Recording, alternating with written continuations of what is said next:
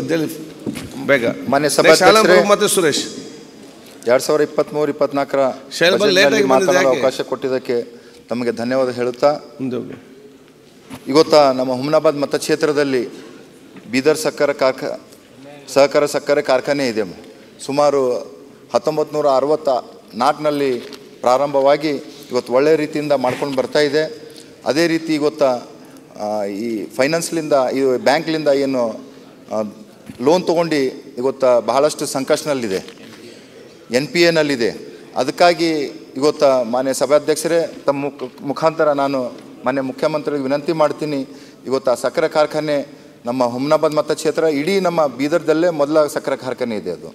ಅದಕ್ಕಾಗಿ ಇವತ್ತು ಅದಕ್ಕೆ ಮತ್ತೆ ಪ್ರಾರಂಭ ಮಾಡ್ಲಿಕ್ಕೆ ಒಂದು ನೂರು ಕೋಟಿ ರೂಪಾಯಿ ಕೊಟ್ಟು, ಆ, ಪುನರ್ಚೇತನ ಮಾಡಿ ಆ ಸಕ್ಕರೆ ಕಾರ್ಖಾನೆ ನಡೆಸಬೇಕು. ಯಾಕಂತಂದ್ರೆ ಸುಮಾರು ಪರಿವಾರಗಳು ಅದ್ರ ಮ್ಯಾಗ ಅವಲಂಬಿತರಿದ್ದಾರೆ. ಅದೇ ರೀತಿ ಸುಮಾರು ಒಂದು ಇಪ್ಪತ್ತೈದು ಸಾವಿರ ರೈತರು ಆ ಶೇರ್ಸ್ ಹೋಲ್ಡರ್ ಇದ್ದಾರೆ ಅದರಲ್ಲಿ. ಇವತ್ತು ಭಾಳಷ್ಟು ಕಷ್ಟದಲ್ಲಿದ್ದಾರೆ. ಅದಕ್ಕಾಗಿ ತಮ್ಮ ಮುಖಾಂತರ ನಾನು ವಿನಂತಿ ಮಾಡ್ಕೋತೀನಿ. ಅದೇ ರೀತಿ ಹುಮ್ನಾಬಾದ್ ಮತಕ್ಷೇತ್ರದಲ್ಲಿ ಸುಮಾರು ನಲ್ವತ್ನಾಲ್ಕು ಸಾವಿರ ಏಳ್ನೂರ ಹನ್ನೊಂದನೇ ಸೆನ್ಸಸ್ನಲ್ಲಿ ಪಾಪ್ಯುಲೇಷನ್ ಇದೆ.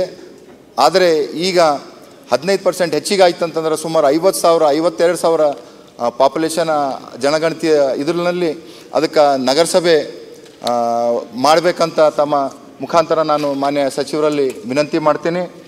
ಅದೇ ರೀತಿ ಇವತ್ತು ನಮ್ಮ ಹಳಿಕೇಡ್ ಮತಕ್ಷೇತ್ರ ಹುಮ್ನಾಬಾದ್ ಮತಕ್ಷೇತ್ರದಲ್ಲಿ ಹಳಿಕೇಡು ಒಂದು ಪಟ್ಟಣ ಭಾಳ ದೊಡ್ಡ ಪಟ್ಟಣ ಇದೆ.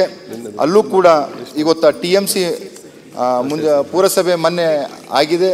ಅದಕ್ಕಾಗಿ ಇವತ್ತು ತಮ್ಮ ಮುಖಾಂತರ ನಾನು ಮಾನ್ಯ ಸಚಿವರಲ್ಲಿ ನಮ್ಮ ಸಾರಿಗೆ ಸಚಿವರಲ್ಲಿ ಕೇಳ್ಕೊಂಬಂತಂದ್ರೆ ಇವತ್ತು ದೊಡ್ಡದು ಪಟ್ಟಣ ಇದೆ, ಆದರೆ ಅಲ್ಲಿ ಹೇಳ್ಕೊಂಬಂತ ಬಸ್ ಸ್ಟ್ಯಾಂಡ್ ಇಲ್ಲ. ಒಂದು ಬಸ್ ಸ್ಟ್ಯಾಂಡ್ ಚಿಕ್ಕದಿದೆ, ಅದ್ರ ಡೆವಲಪ್ಮೆಂಟ್ ಆಗ್ತಾಯಿಲ್ಲ ಸಿ ಸಿ ರೋಡು, ಏನು ಮಿನಿಮಮ್ ಫೆಸಿಲಿಟೀಸ್ ಬೇಕು, ಅದು ಮಾಡಿಕೊಟ್ರೆ ಒಳ್ಳೇದಾಗ್ತದಂತ ನಾನು ತಮ್ಮ ಮುಖಾಂತರ ನಾನು ಸಚಿವರಲ್ಲಿ ಮನವಿ ಮಾಡ್ಕೋತೀನಿ.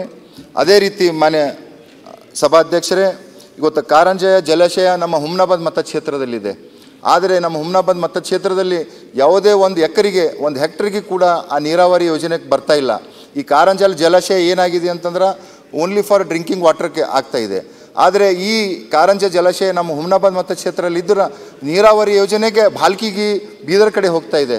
ಅದಕ್ಕಾಗಿ ಈ ಕಾರಂಜ ಜಲಾಶಯ ಜಲಾಶಯದಿಂದ ನಮ್ಮ ಹುಮ್ನಾಬಾದ್ ಮತಕ್ಷೇತ್ರದ ಸುತ್ತಮುತ್ತಿನ ರೈತರಿಗೆ ಈ ಕೆರೆ ತುಂಬ ಕಾರ ಇದಾಗಬಹುದು ಯಾವುದೇ ನೀರಾವರಿ ಯೋಜನೆಯಲ್ಲಿ ಈ ಒಂದು ಬಜೆಟ್ನಲ್ಲಿ ಅಣು ಮಾಡಿಕೊಡ್ಬೇಕಂತ ತಮ್ಮ ಮುಖಾಂತರ ಮನವಿ ಮಾಡ್ತೀನಿ ನಾನು. ಅದೇ ರೀತಿ ಮೊನ್ನೆ ಒಂದು ಮಾನ್ಯ ಸಭಾಧ್ಯಕ್ಷರೇ ತಾಳ್ಮಡಿಗೆ ಗ್ರಾಮ ಅಂತ ಇದೆ. ಆ ತಾಳ್ಮಡಿಗೆ ಗ್ರಾಮದಲ್ಲಿ ಒಂದು ಪಿ ಎಸ್ ಸಿ ಸೆಂಟರ್ ಇದೆ. ಆ ಪಿ ಎಸ್ ಸಿ ಸೆಂಟರ್ ಮೇಲ್ಗಡೆಯಿಂದೇ ಒಂದು ಲೆವೆನ್ ಕೆ ವಿ ಲೈನ್ ಹೋಗಿದೆ. ಲೆವೆನ್ ಕೆ ವಿ ಲೈನ್ ಹೋದಾಗ ಅಲ್ಲಿಂದು ಡಾಕ್ಟ್ರು ಒಬ್ಬರಿಗೆ ಎಲೆಕ್ಟ್ರಿಷಿಯನಿಗೆ ಕರೆಸಿ ಅದು ಏನೋ ಸ್ವಲ್ಪ ವೈರ್ ಇದಕ್ಕೆ ಆಗಿದೆ ಅಂತ ನೋಡ್ಲಕ್ಕೆ ಹೋಗಿ ಆ ಹುಡುಗ ಎಲೆಕ್ಟ್ರಿಷಿಯನ್ ಏನು ಮಾಡಿದಾನ ಹೈ ಟೆನ್ಷನ್ ವೈರ್ ಇದೆ ಲೆವೆನ್ ಕೆ ವಿ ಅದಕ್ಕೆ ವೈರ್ ಅವನಿಗೆ ತಲುಗಿ ಅವನು ಅಲ್ಲೇ ಜಾಗದಲ್ಲಿ ಮೃತಪಟ್ಟಿದ್ದಾರೆ. ಆದರೆ ಯಾವುದೇ ಸರ್ಕಾರದಿಂದ ಇವತ್ತಿನ ತನಕ ಯಾವುದೂ ಕೂಡ ಒಂದು ಅನುದಾನ ಕೊಟ್ಟಿಲ್ಲ ಏನೂ ಆಗಿಲ್ಲ. ನಾನು ಡಿ ಸಿ ಅವರಿಗೂ ಮಾತಾಡಿದ್ನಿ. ಮತ್ತು ನಮ್ಮದು ಜಸ್ಕಾಮ್ ಅಧಿಕಾರಿಗಳಿಗೂ ಮಾತಾಡಿನಿ ಆದರೆ ಯಾವುದೂ ಸ್ಪಂದನೆ ಇಲ್ಲ. ಅದ್ರ ಬಗ್ಗೆನೂ ತಾವು ಇದು ಮಾಡಿಕೊಡ್ಬೇಕಂತ ತಮ್ಮ ಮುಖಾಂತರ ಹೇಳ್ತೀನಿ. ಅದೇ ರೀತಿ ಇವತ್ತು ನಮ್ಮ ಮತಕ್ಷೇತ್ರದಲ್ಲಿ ರಾಜೇಶ್ವರ ಒಂದು ದೊಡ್ಡ ಪಟ್ಟಣ ಇದೆ. ಮೂವತ್ತ್ನಾಲ್ಕು ಗ್ರಾಮ ಪಂಚಾಯತ್ ಸದಸ್ಯರು ಉಳ್ಳಂಥ ದೊಡ್ಡ ಗ್ರಾಮ ಇದೆ. ಅದನ್ನು ಇವತ್ತು ನಾವು ಪಟ್ಟಣ ಪಂಚಾಯತಿ ಮಾಡಬೇಕು. ಯಾಕಂತಂದ್ರೆ ಅಲ್ಲಿ ಬಹಳಷ್ಟು ಹಿಂದುಳಿದರ ಜನರುಗಳು ಇದ್ದಾರೆ ಅವರು ಈಗ ಮುಂದೆ ಬರ್ಬೇಕಂತಂದ್ರೆ ಅದಕ್ಕೆ ಪಟ್ಟಣ ಪಂಚಾಯತಿ ಮಾಡ್ರ ಒಳ್ಳೇದಾಗ್ತದಂತ ತಮ್ಮ ಮುಖಾಂತರ ಧನ್ಯವಾದಗಳು.